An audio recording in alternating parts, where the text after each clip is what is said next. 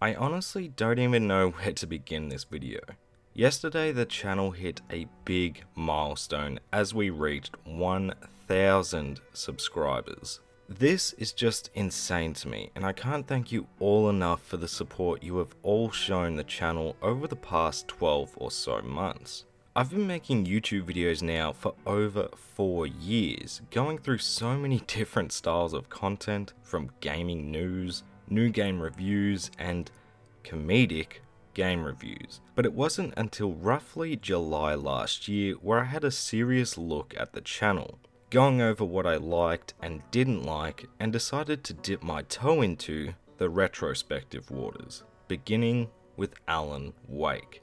And that video was where I knew I loved making these types of videos. I thought 2019 was a great year with my confidence in video creating rising and the channel gaining about 200 subs and beginning 2020 with roughly 450 subscribers. I had an end of year goal of 1000 subscribers, but it was almost like a pipe dream.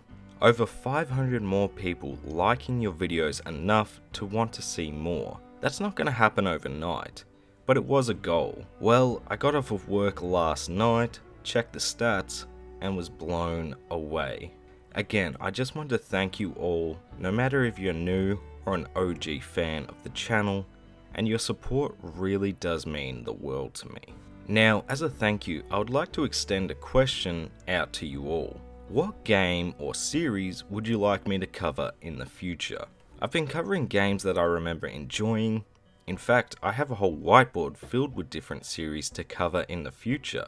Seriously, it's probably years worth of content on that thing, and I'm constantly thinking of more games I'd like to cover at some point. But every single one of you has found the channel through different avenues and games I've already covered, and I want to know what games you want to see next. That way I can push them to the forefront of projects and not have you waiting around until I remember a particular game. I've already had people commenting on my other videos with suggestions like the Dishonored series, so what else do you guys want to see? Let me know down below. I will also be doing a 1k special video revisiting the beginning of a series that I hold a lot of nostalgia for, and that video should release in about 2 or 3 weeks.